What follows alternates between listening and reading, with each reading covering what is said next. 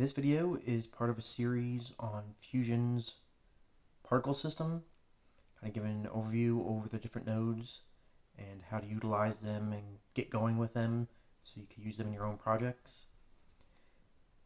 If you go to Tools and Particles here, you see there's a pretty long list of different nodes. So I might be going over each of them and kind of helping you get started in using them. So in this video, we're going to be going over the pkill node, which is basically designed to, if the p emitter creates particles, then pkill's function is to uh, kill them or to uh, have them disappear from the simulation. So the pretty much the only real parameter you have is the region. And as with the other nodes you could choose what kind of region you have so sphere rectangle mesh cube all the various ones here that are also available in the other nodes.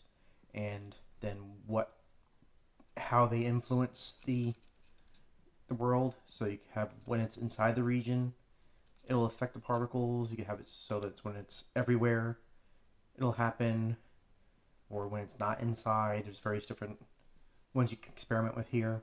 I'm going to demonstrate when it's inside the region. So, as you can see here, I have a P emitter creating particles, and they're given some velocity, and they're going from left to right.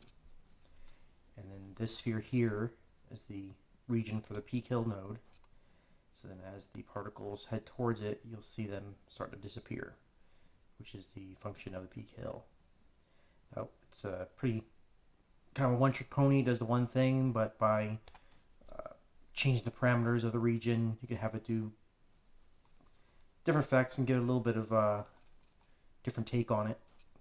But its main function is just to right, kill the particles that the emitter creates. So hopefully you found this useful. Hopefully you'll look at the other videos in this series and kind of get an overview of the particle system Blackmagic Designs Fusion. And I hope you found this useful, and thank you for watching.